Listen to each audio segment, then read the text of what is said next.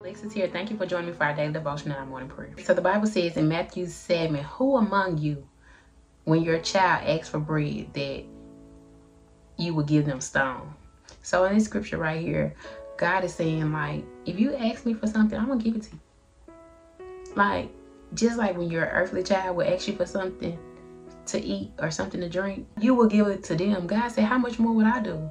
So, this scripture in this moment, God is encouraging us to ask Him again, seek Him again.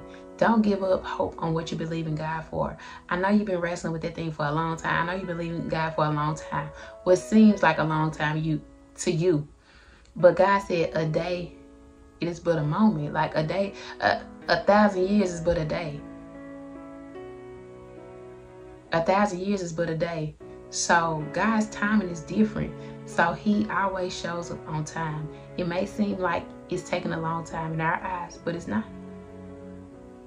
It's literally not. God is on time. He's going to deliver everything you ask and he's going to be there for you. So you have to trust and then know, trust, know, and believe that God is going to do it. So he said, if you know how a parent will treat their child. We are his children. So what do you need? What do you need? So literally sit down, write down, journal, God, I need this. I'm believing you for that. And give it to God. Instead of worrying about it, instead of telling your friends about it, instead of asking others about it, ask God. God, I need healing. God, I need financial breakthrough. God, I need a new job. I can't stay at this job another year. God, I need a new house because this house is too small for my family. Write it down, believe it, and keep going forth and trust that God is going to do it.